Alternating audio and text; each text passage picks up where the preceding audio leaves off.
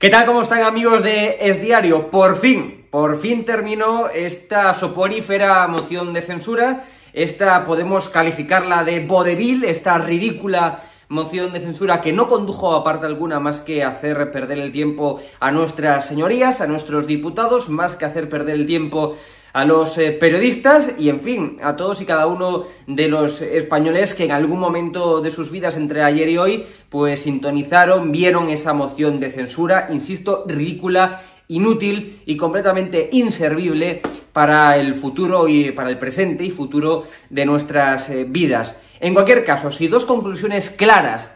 podemos extraer de esta moción de censura es uno, que estamos a la vuelta de unas elecciones eh, municipales, autonómicas, nacionales a finales de este, de este año, que esas, por cierto, sí que van a ser la verdadera moción de censura a este gobierno de Pedro Sánchez que, como es evidente, como es objetivo decir, nos está llevando pues al abismo político, social y sobre todo económico Insisto, esas sí que van a ser las, eh, las urnas, los comicios, la verdadera moción de censura, pues insisto, esa es una conclusión. Que estamos en un contexto ya de campaña electoral, de mítines eh, políticos, que fue fundamentalmente lo que hemos apreciado. Y la segunda conclusión, que de esa verdadera moción de censura, que de esos comicios va a salir un cambio político de color azul y un presidente nuevo que se llama Alberto Núñez Feijó. ¿Y por qué digo esto? Porque todas y cada una de las críticas, de las intervenciones de los grupos eh, eh, pues, políticos que conforman el Congreso de los eh, Diputados, pues han destacado y han focalizado su crítica no sobre Vox, ni tan siquiera, no sobre el gobierno de Pedro Sánchez, no, sobre Feijó, sobre el Partido Popular, desde Vox hasta los grupos pues, más pequeños que conforman el Congreso de los Diputados.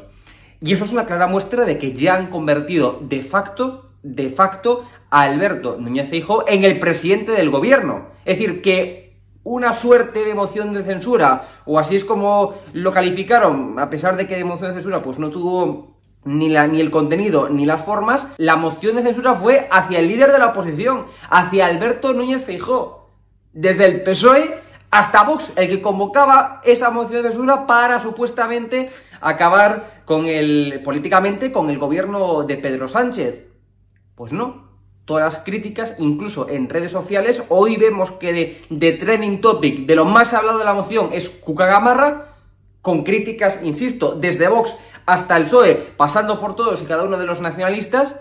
pues ojo, es que se está focalizando todo la moción de censura en el Partido Popular, en Alberto Núñez Fijó. Ergo, han convertido de forma indirecta al menos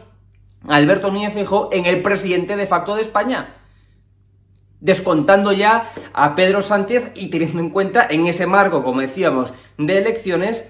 que va a haber un cambio político y que el futuro presidente del gobierno, previsiblemente, como ya anuncian todos los sondeos privados, a excepción, por supuesto, del Centro de Investigaciones Sanchistas o Sociológicas eh, de Tezanos, pues ya anuncian que el futuro presidente del gobierno va a ser de otro color político, del color político azul, y se va a llamar, como decíamos, Feijo. Y esas son las dos claras conclusiones. Una moción de censura pensada de jure, de jure, para acabar, por tanto, políticamente con el gobierno de Sánchez, pero de facto,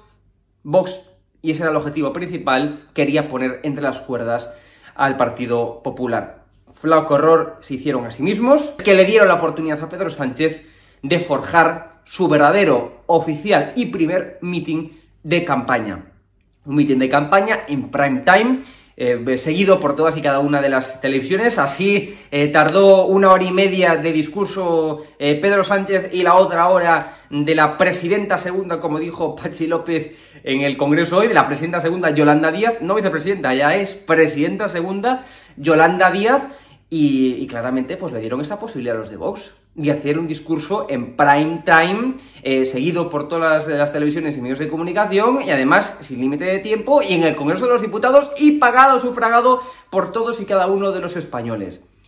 Jamás se pensó, Pedro Sánchez, jamás se pensó el Partido Socialista que Vox le iba a hacer semejante regalo. Espero que el PSOE esté muy agradecido, pero mucho, mucho, con Vox con el partido de Santiago Bascal. Estas son las dos principales conclusiones que podemos extraer de este circo, de este teatro, de este vodevil organizado por Vox.